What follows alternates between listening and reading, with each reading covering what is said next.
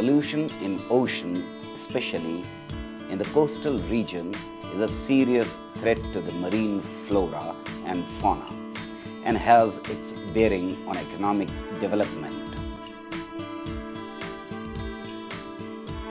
CSIR National Institute of Oceanography at Goa has put its efforts to identify and tackle the problem of pollution in coastal areas of the country.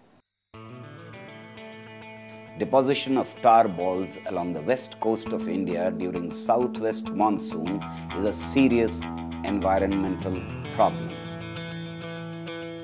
Oil spill and the tar ball deposition attracts the attention of government agencies and the public as it adversely affects the coastal waters. Identifying the sources of crude oil is very important to mitigate oil spill and tar ball pollution. In this context, tar ball and crude oil samples collected from the beaches of Gujarat and Goa were subjected to chemical fingerprinting analysis for identification of their probable source.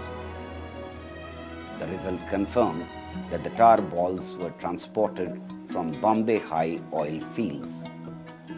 Several questions related to oil and tar ball pollution could be answered on the basis of research work carried out at the Institute.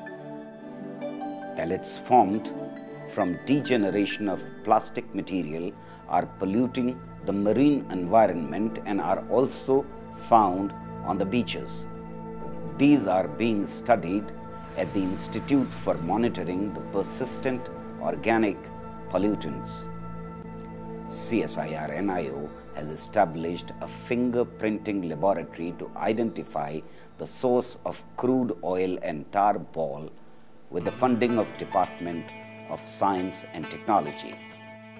CSIR NIO conducts seasonal monitoring of water, sediment, biological and microbial parameters for establishing an overall index of pollution testing and certification of dispersant to combat oil spills and develop numerical models is also carried out here.